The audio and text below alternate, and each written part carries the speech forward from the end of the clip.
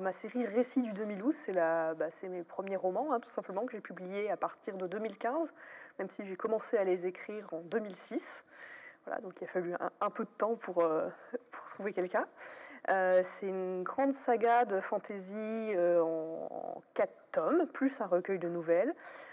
fantasy médiévale, j'étais vraiment, je baignais beaucoup dans Robin Hood et la Saint Royale à l'époque où j'ai commencé à écrire ça. Donc voilà, j'adorais le fait qu'elle accorde autant d'importance aux, petits détails de la vie quotidienne qu'aux grands faits épiques, les guerres et compagnie et surtout l'impression de ben, connaître les personnages comme ses amis en fait euh, quand on, referme les livres, de pouvoir à la fois euh, prédire euh, leurs réactions tout en étant un peu surpris et voilà et de, les détester autant qu'on les adore. Donc c'était vraiment ça que j'avais envie d'essayer vers ce, voilà, ce, que je voulais atteindre comme, comme but. Alors moi, je présente souvent le royaume du demi-loup en présentant ce qui fait un peu ce qui est une des coutumes fondatrices de ce royaume et qui va vraiment servir de fil rouge euh, euh, dans toute la saga. C'est le fait que chaque membre de la famille royale, à la naissance, se voit attribuer ce qu'on appelle un suivant ou une suivante, qui est un enfant du même genre né le jour suivant, qui va être euh, arraché à sa famille d'origine, en général du peuple, et ensuite être élevé strictement à l'identique de son prince ou de sa princesse donc vraiment euh, qui va devenir de fait une espèce de faux frère et sœur, un ami, euh, un conseiller, euh, potentiellement plus tard une, pièce de rechange en cas de décès. Voilà, donc ils sont vraiment des, comme quasiment dans la ligne de succession de la dynastie. Et aussi, et ça, elles vont, les suivantes vont en prendre conscience petit à petit, ben, un contre-pouvoir, quelqu'un qui est là pour tempérer ou plus. Donc voilà, les récits du 2012 sont narrés essentiellement par trois suivantes attachées à deux princesses et on va les rencontrer à l'orée de l'adolescence et on va les suivre jusqu'à euh, la trentaine environ. Donc le, roman est polyphonique, donc on a trois suivantes, euh, un prince et euh, un autre personnage qui est aussi plus ou moins un prince héritier indirectement. quand on rencontre les suivantes, en fait, c'est un groupe de jeunes filles, elles ont toutes le même âge que leur princesse, elles vivent toutes dans le même château. Donc finalement, elles ont un peu toutes le même avis sur la situation. Puis en fait, plus les choses divergent, plus euh, les conflits euh, prennent de l'ampleur, plus bah, leurs points de vue sur les événements vont diverger aussi, jusqu'à finalement être euh, en opposition les uns avec les autres. Ça va être un peu au lecteur de, de faire son chemin là-dedans, de choisir quel point de vue il va adopter, ce qui va adhérer plus à un discours qu'à un autre.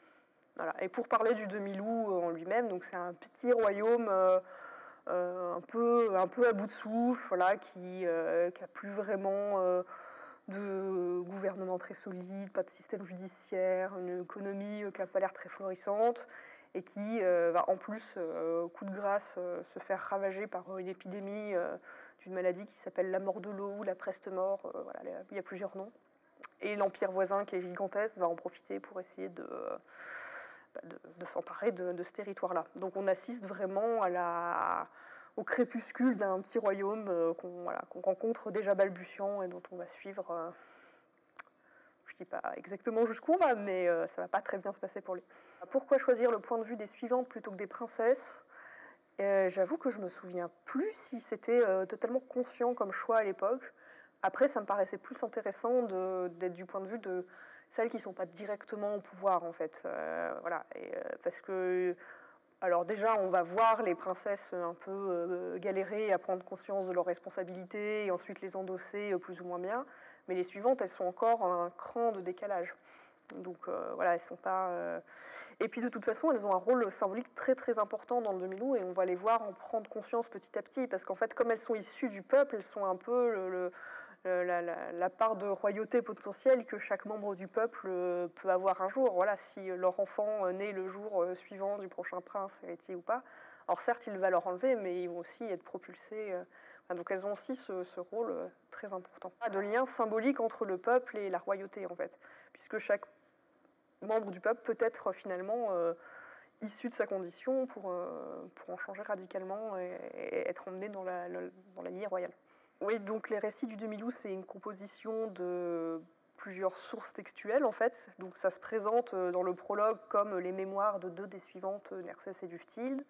Petit à petit vont s'adjoindre d'autres euh, d'autres narrateurs. Il va y avoir Catel, mais dont elle, on n'a pas les mémoires longtemps après, mais le journal intime à chaud.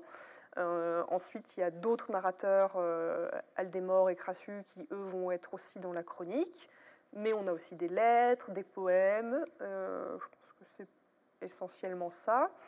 Bah, déjà, ça permet, ce que je disais dans une, autre question, euh, de varier un petit peu les points de vue et de varier aussi euh, le type de récit. C'est-à-dire qu'en fait, finalement, les chroniques écrites 30 euh, ans après les événements, ça ne va pas du tout être le même point de vue sur les choses que le journal intime écrit à chaud, forcément. donc les points de vue ne sont pas les mêmes, les façons de se raconter ne sont pas non plus les mêmes. et puis de pouvoir avoir des lettres de temps en temps, des extraits de d'autres types de documents. Voilà, ça fait des, petits contrepoints aussi à l'histoire euh, pour ensuite recomposer un, tout euh, par le montage en fait. Là, pour le coup, je fais aussi des études de cinéma et moi, je le c'est dit d'ailleurs sur la fin du, de, des récits du 2000 que finalement, c'est le montage de ces différentes sources qui composent une histoire et que en fait, pris indépendamment, ça forme pas un tout. Comment je fabrique les personnages Je pense que oui, il y a des morceaux de moi dans chacun. Je ne me reconnais pas plus dans l'une ou l'un ou l'autre. Mais euh, j'essaie toujours de faire un exercice de, de vraiment d'empathie de, ou de projection. Euh, c'est-à-dire, euh, quand je sais pas. Alors, soit je connais vraiment tellement le personnage que je sais ce qu'il va faire ou quelle décision il va prendre, soit quand j'ai un petit doute, je me dis, ok, si j'étais à sa place, compte tenu de mon passé, de tout ce que j'ai déjà vécu, de mes opinions euh, politiques, de mes amitiés, etc. Qu'est-ce que je ferais à ce moment-là? Des fois, c'est plus ou moins difficile de se mettre à la place d'eux quand il s'agit de, voilà, de commander euh, plus ou moins un génocide ou de faire la guerre. Mais voilà, vraiment de me mettre, ok, euh, là, j'ai toute cette carte en main dans, dans, le jeu de ma vie, qu'est-ce que je vais faire, quoi. Et en général, ça marche pas mal, quoi. Donc, d'être vraiment dans une empathie très forte avec mes personnages. Et empathie ne veut pas dire approbation, en fait. C'est parce que oui, il y a des personnages qui sont détestables, euh, qui font des, des, choses euh, très mauvaises, condamnables, et je suis pas là, moi, pour les juger. Et peut-être que c'est un autre aspect, c'est de jamais les juger. Voilà, je ne suis pas là pour dire ça c'est bien, ça c'est pas bien, il euh, faut faire ci, il faut pas faire ça. Et ça, ça peut déstabiliser des fois les lecteurs, c'est que voilà, je vais pas dire, moi en tant qu'autrice, je ne suis pas là pour donner mon avis sur ce qu'ils font. En fait, c'est au lecteur de, faire son chemin là-dedans. Et, euh, voilà, et c'est euh, parfois rageant et parfois stimulant, j'espère, euh, pour, pour le lecteur. Oui, j'ai essayé de faire autant une grande saga épique, politique, qu'une une saga humaine.